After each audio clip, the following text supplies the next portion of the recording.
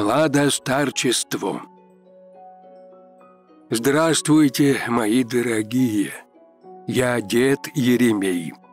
Благодать и мир вам да умножится в познании Бога и Иисуса Христа, Господа нашего. А знаете ли вы, что такое младостарчество?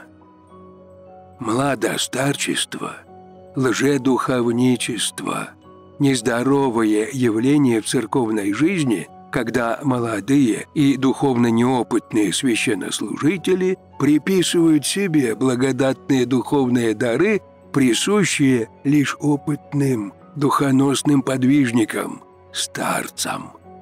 Основная ошибка младостарчества состоит в стремлении священника выдать свою волю и разум за действие благодати Святого Духа, всецело подчинить мирянина своим собственным советам, а не поощрять его к богопознанию и исканию души спасительной Божией воли. Вот так вот, дорогие мои. И помните – Мир освещается солнцем, а человек – знанием. Да храни вас Бог.